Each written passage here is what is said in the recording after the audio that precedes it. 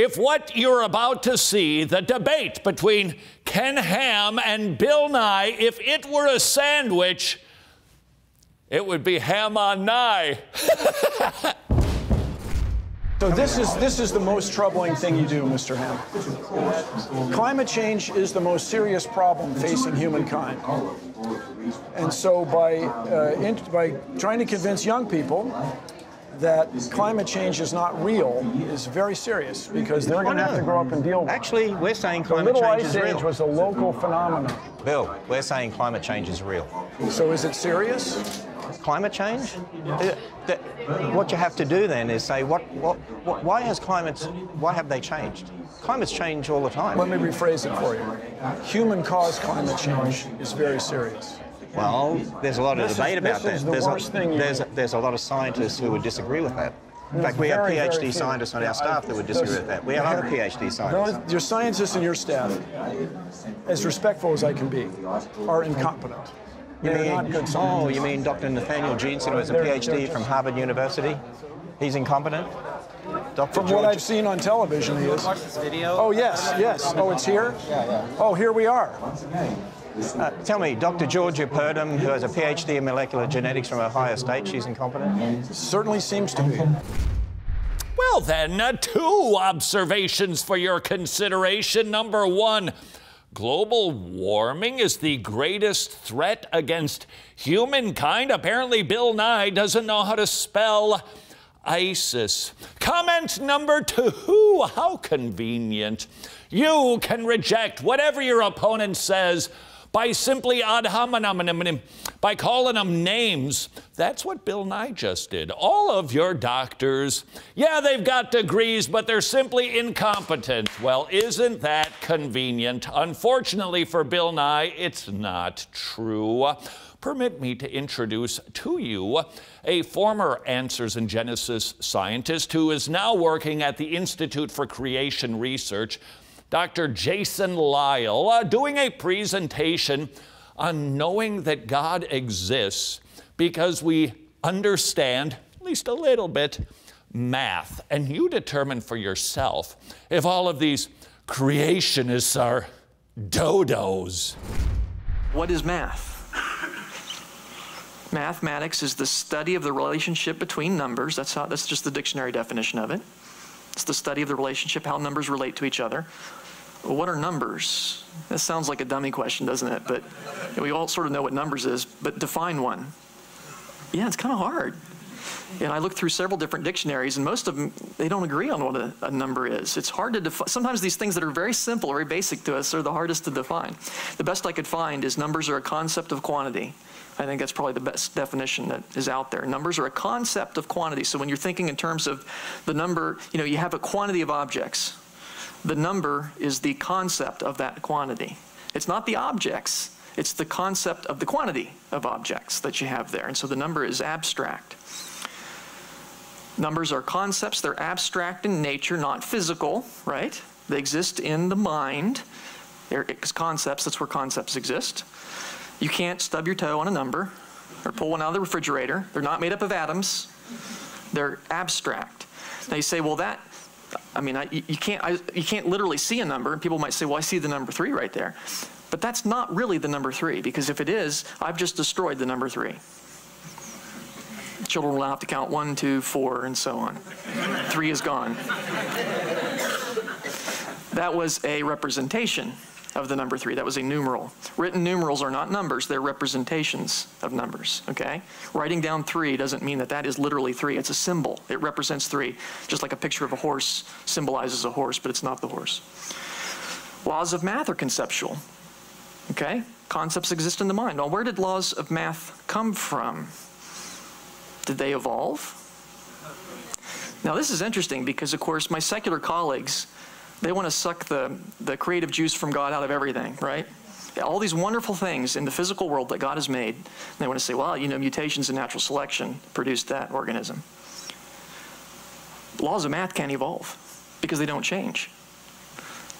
I don't, I don't know any secularists that believe this, that the number seven evolved from the number three. Seven's always been seven, three's always been three. And so you, you cannot explain math by evolution. You might find evolutionary biologists, evolutionary geologists, evolutionary astronomers. When it comes to math, everyone's a creationist. Isn't that interesting? You won't find any evolutionary mathematicians, they don't exist. You might find evolutionists who, you know, who use math and so on, but they don't believe that math evolved. We're, we're laws of math created by people. Well, laws of math are formulated by people. We wrote down, we invented the notation, you know, that's why three looks like that. And, but we didn't create numbers. Numbers existed before people did, and laws of math existed before people did.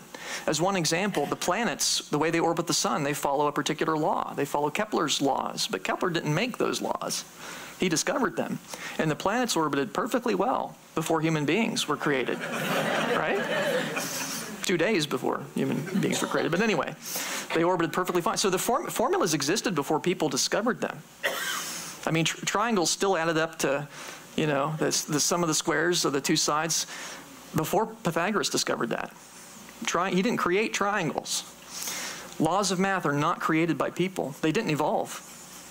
Do they come from the universe? Now, this is a common one. People say, well, that's a property of the universe. But I don't think you can make that argument. For one thing, the universe is constantly changing. It's expanding and stars explode and things like that. If laws of math were based on the universe, we'd expect them to be changing too. But they don't. So laws of math don't reflect the universe. Now, there is a relationship between the universe and laws of math, and we'll get into that a little bit later, but um, you can't say they're created from the, from the universe.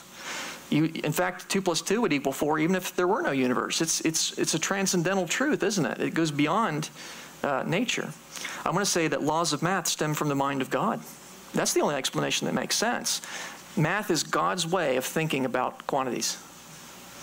And that makes sense. That, that, that makes sense of the properties of laws of mathematics. Because if you think about it, laws of mathematics are conceptual, universal, invariant, exceptionless entities. Let's go through one each at a time. Conceptual, they exist in the mind. They're abstract. You can't touch a law of mathematics, okay? You can't literally see one. You can write down a representation of one, but they're not physical. They're conceptual. They exist in a mind. They're universal, meaning laws of mathematics apply everywhere. Doesn't matter where you go. 2 plus 2 still equals 4 in Europe, okay? They're invariant. They don't change with time. It's not like, you know, well, the Pythagorean theorem works on Tuesdays, sure, but everything's out on Fridays. Who knows? and they're exceptionless, right? It's not like, well, you know, 2 plus 2 normally equals 4, but in this case, it, it didn't. Right? Try, try to explain the bank error that way and see if they buy that. the reason you're missing millions of dollars, well, it didn't add, it just didn't add this time. I don't think they'd buy that. They're exceptionless. And these things make sense in light of the fact that laws of mathematics stem from the mind of God because God's thoughts are conceptual because all thoughts are conceptual. God is omnipresent and so naturally, his thoughts would, would be sovereign over the entire universe. So laws of math are going to be the same everywhere because God's the same everywhere.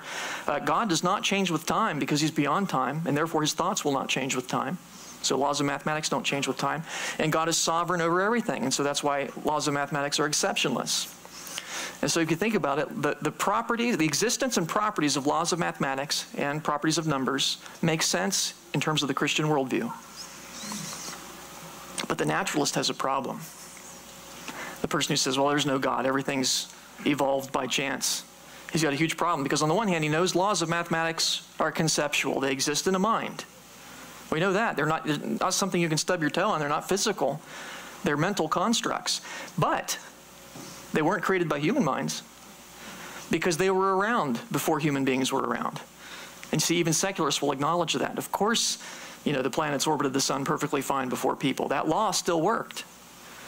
But they've got a problem because they don't believe in minds before human minds.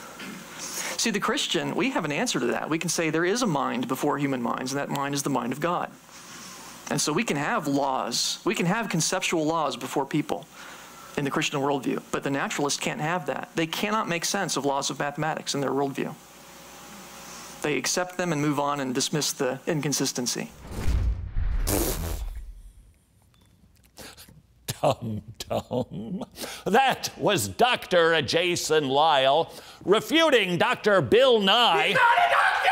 Oh, that's right. He's not a doctor.